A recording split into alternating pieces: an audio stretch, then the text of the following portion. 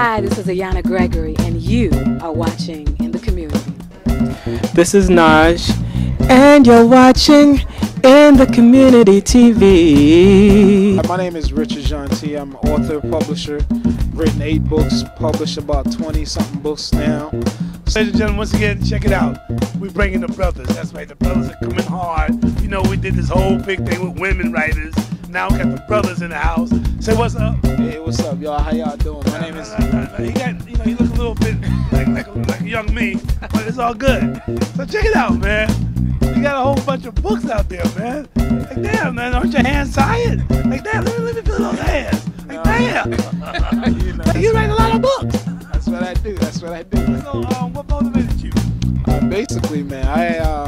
studied film and television writing in college, and I'm a former high school teacher. It was just time to move on from teaching and everything else I was doing with the kids. I worked with the kids for about 12 years, and it was just time to move on. We, we applaud you. I mean, like, yo, that's a lot of good things going on. I mean, you know, um, we need brothers like you in the community. You know what I'm saying? And we so happen, we're glad that you, you, you, you know, you're doing your thing from a teacher, man. We applaud you, man. You know, that's what it's all about. So, um, listen, um, give us a quick rundown on some of your books. You got a whole bunch. A man got a whole bunch of books. A man wrote books. All right. I mean, he's a library. He ain't a he, he, he, he a library. Well, my first novel was actually called Neglected Souls. It's a story of hope of two kids. Their mother falls victim to drugs, but it's about them staying focused to become successful, and it's their journey from nothing to prominence. That's what Neglected Souls was about. And of course, I came out with Neglected No More, which was a sequel, part two, and Neglected No More basically uh, chronicles the journey from after college, you know, their success story from after college and how they reconnected with family. Then I, I um, came out with uh, Whip Appeal, which is a story about women saying they want they want a nice guy, but do they really? Most of the time, when they when they find a nice guy, they end up with a bad boy because they don't want they don't even want to look at his way. But um, then I came out with Sexual Exploits of a Nympho, and of course, I came out with a sequel for that, which is a story about a girl who's addicted to sex and how she had to overcome her addiction in order to survive.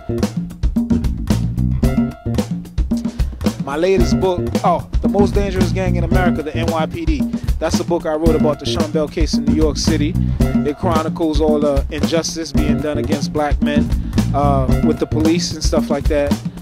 Uh, I want. I was. I was really upset after Sean Bell got killed for no reason. So I wanted to do something about it. So I decided to write a book about it. And then my latest book, Sexual Jeopardy, deals with HIV and AIDS. It's basically all these young men out there. They're seeing these beautiful women. They don't. All beautiful men for these women. They don't know if they're tainted or not. So it's about what you see is not always what you get. So be careful who you're sleeping with and protect yourself. And it's a story, the struggle of this young man who, who got caught up in a situation with, with somebody who's HIV positive. And I have my latest book, Hoodfellas, dropping November 2008, which is my first street novel. It's about a, it's a story about a felon, an ex-con who comes home. He's having a hard time getting a job, so he had no choice but to become a hood fella.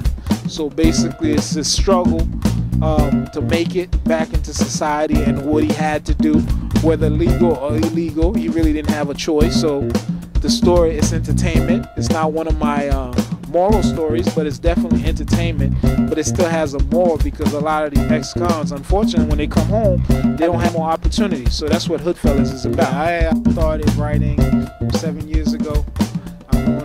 my ninth book is coming out in November, and it's uh, also my first street novel. I've never written a street novel before, but it's uh, off the chain. It's a story, you know, it's like Goodfellas, but it's called Hoodfellas. So it's one of those high joints. Y'all gonna pick up, you know, page turner, like I always put it down. Yeah, so you know, check it out. Hi, this is Ayana Gregory, and you are watching In the Community.